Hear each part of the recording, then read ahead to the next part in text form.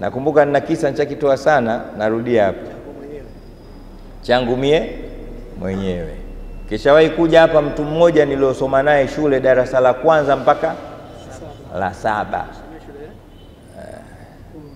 Tumeelewa naye eh?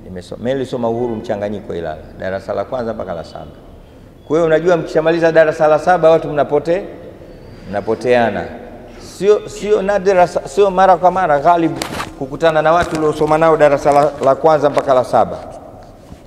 Unakutana na watu wa chuo, unakutana na watu wa sekondari, lakini wale wa darasa la kwanza mpaka la saba, hebu nao wote wale, na anaweza kuja hapa ukawa usimjue, maanake sura yake imebadilika, mlikuwa watoto kule. Akija na ndevu zake na kipara, maanake sasa kesha kwa mtu mzima, nywele zimeng'oka zote hapa, jiwe kichwa chake, ndo huyu ndio sio?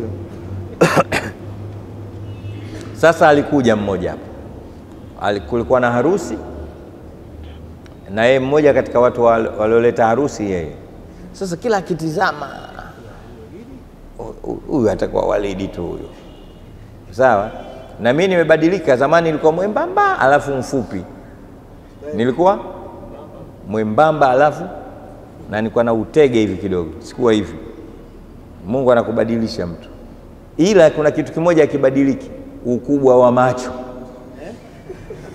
Macho yangu makubwa vile vile. Sasa kule manene. Walidi, sasa alivyokuja hapa, kila akitizama na akisikia ah, Imamu Walidi ndio hiyo, mimi nikamwona kwamba huyu ananishangaa huyu. Jinsi ninavyo flow hapa na basi, tumeozesha harusi ilivyomalizika, akasogea mpaka ewa, macho manene vipi? Nikamwambia utapigwa mwenzio meima msalie Mtume Muhammad Mmeelewa? Na natoa mfano tu, mmeelewa?